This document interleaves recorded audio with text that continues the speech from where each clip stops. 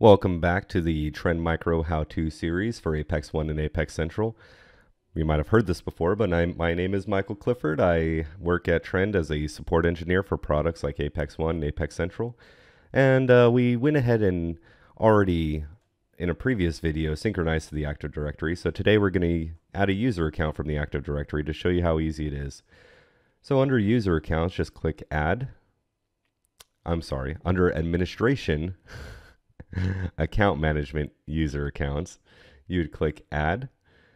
And this is where you would select the role right here. Uh, you could select a, a, role that you have. These are the two built-ins, but you can always create more roles uh, later on.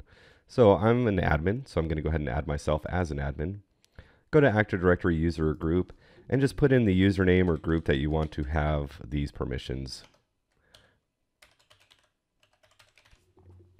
So once we put in the information, we click search and I pop right up. So this is my Active Directory account. So I'll just select that over, click next.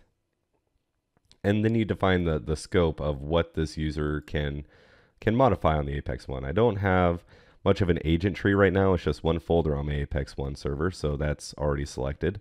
Um, once you have it more fleshed out, you can select very individual directories in case your user has very specific responsibilities in your organization.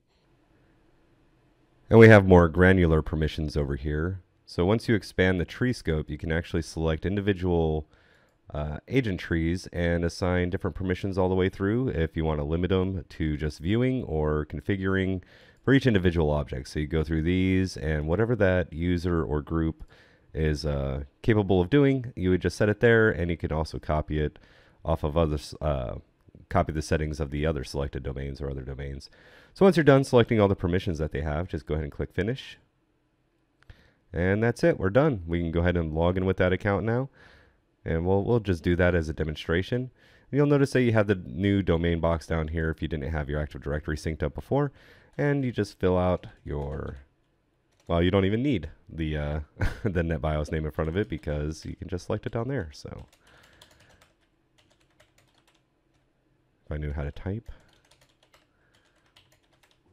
There we are. We select the domain we're a part of, log on, and we're on with our new admin user.